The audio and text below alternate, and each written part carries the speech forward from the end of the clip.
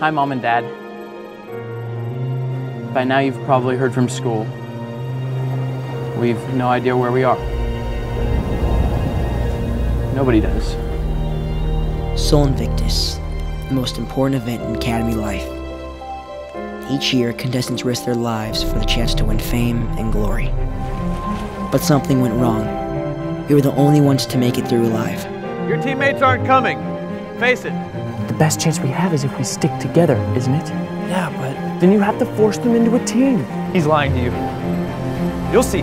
This is Sol Invictus. Winning's the only rule. Should we talk to him? But when winning wasn't so easy, that's when things started falling apart.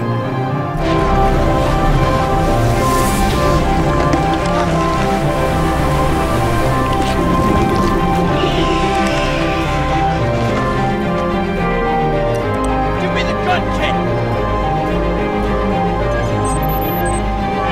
Is he right? Tell us! Look! Look!